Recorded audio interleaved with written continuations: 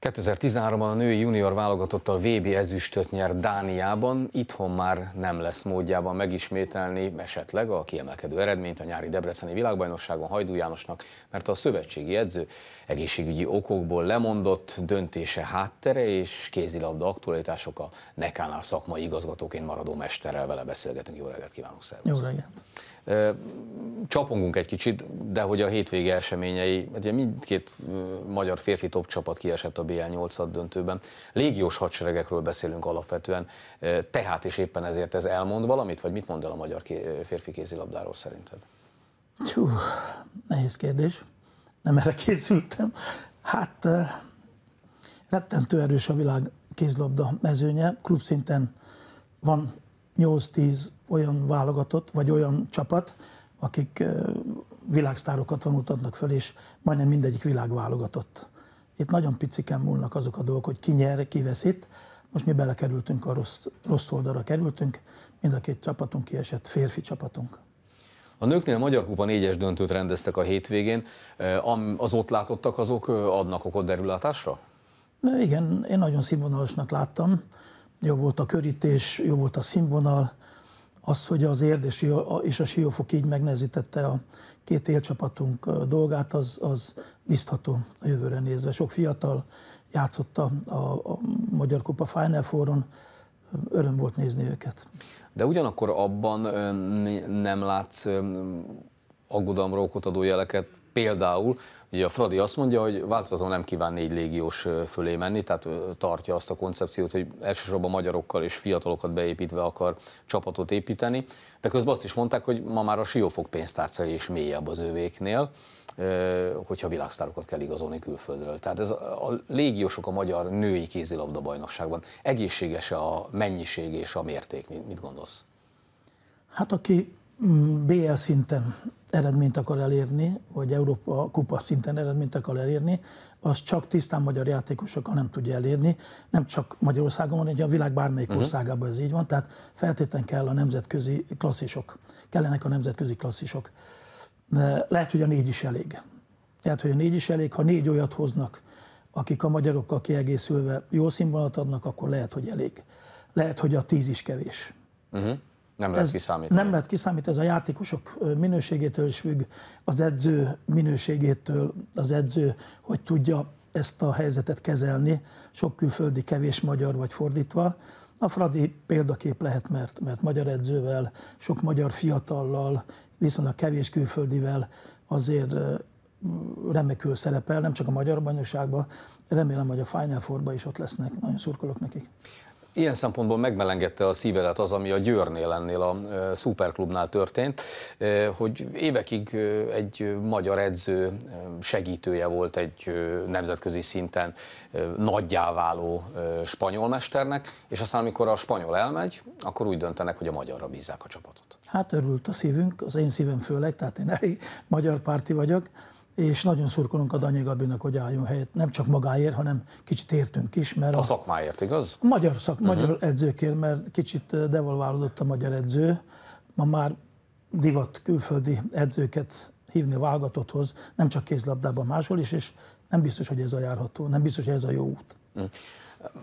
A te helyzetedre rátérve, hiszen Nekon és junior válogatott, és az elején mondtam, hogy hát amikor ezt elkezdted, akkor egy igen szép eredménnyel rukkoltatok elő. Most nem akartál aratni, vagy pedig nem volt várható az aratás, vagy pedig tényleg nem bírja már a, hát nem tudom, a, a szíved vagy a pszichéd az izgalmakat? Hát ennek is nagyon sok összetevője van.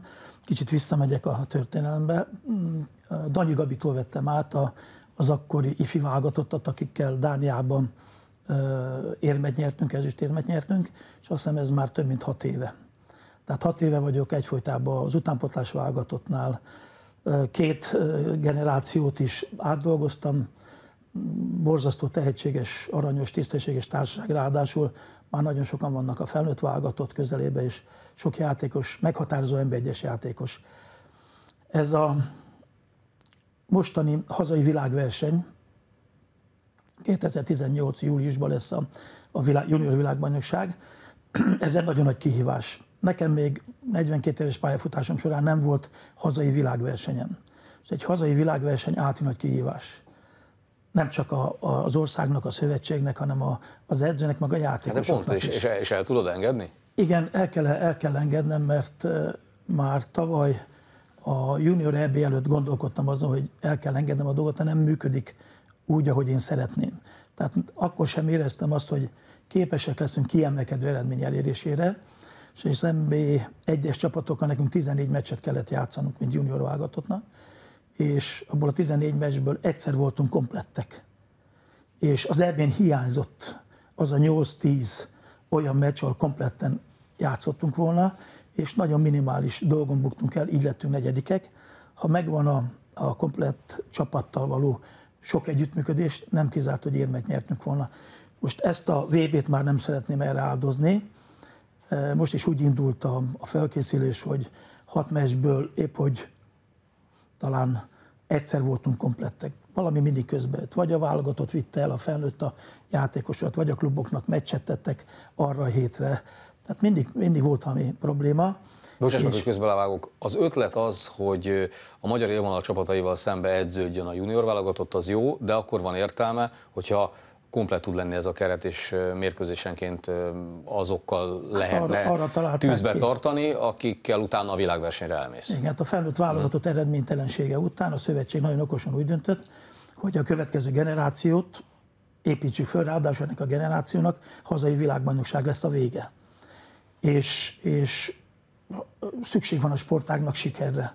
Tehát a felnőttek nem értek el, nem érnek el sikert, egy hazai junior világbajnokság sikere azért megdobná a, a sportágat, nagyon megdobná. Bennük van a potenciál? Van, van, rettentő. Biztos, biztos, hogy ez a csapat, ha megfelelő feltételekkel dolgozik, akkor biztos kiemelkedő eredményt ér el. Ha nem, ér, nem dolgozik megfelelő feltételek mellett, akkor kérdéses lesz a kiemelkedő eredmény. Az egy magyar... Itt volt neked kétséged? Igen, igen, és ez feszített, ez okozott nekem nagyon komoly feszültséget. Már talán meg is öregettem, de nem rugdostam az asztalt, nem csináltam balhét, kicsit magamba őrölöttem, és, és úgy éreztem, hogy ez kevés. Tehát itt valamit csinálni kell, hogy rájöjjenek arra, hogy ez a magyar hazai junior VB, ez komoly dolog, ez a sportágnak rendkívül fontos, és nem elég az a négy hét, amit a VB előtt együtt tölt a csapat. Mindenképpen szükség van ezekre az NB1-es tehát csapatok lemond, elleni meccsre. Tehát ezzel a lemondásra fel is akartad rázni, és a, megadni a lehetőséget a téged követő szakembereknek, meg hát nyilván a fiatalabbaknak is, hogy, hogy akkor Ennek pörögjenek több, több Én szerintem hmm. ez jó időben történt. Egyrészt önvédelem volt, tehát olyan feszült voltam, tényleg magas vérnyomás, feszültebb voltam a játékosokkal, idegesebb, ami nem jó. Uh-huh. Tehát nem, nem segített sem engem, sem a csapatot, sem a, a világbajnokságra való uh-huh. fölkészülést. Ez a kilépés úgy gondolom, hogy időbe történt, pótolható a dolog, uh-huh. és most talán jobban odafigyel mindenki. De maradsz a Nekánál, és a Nekával kapcsolatos hír volt az is az utóbbi időben. Ugye Éles József nemrég bírálta keményen a magyar utánpótlás helyzetét, mondván, hogy a fiataloknak nincs lehetőségük az élvonalban fejlődni. És persze azt is hozzátette, hogy szerint a NECA nem termel ki nemzetközi szintű játékos. És akkor persze itt most megint beszéltünk arról, hogy fiúk vagy lányok, de van-e igazság ezekben a élesi kritikákban? Nincs. Semmi? Nincs információja, nem elég tájékozott a, a, az Éles József a dologba. Következő helyzet, a, T, a Nekán 18 éves korban végeznek a gyerekek. Leérettségiznek és elmennek. Kilátott már olyan 18 éves fiút, aki a felnőtt válogatottat vitte volna. De, de még lány se nagyon, nagyon ritkán, talán a Görbic Anita óta nem volt olyan 18 éves, akit egy, aki egy felnőtt világbajnokságon vagy világversenyen a magyar válogatottat irányította volna.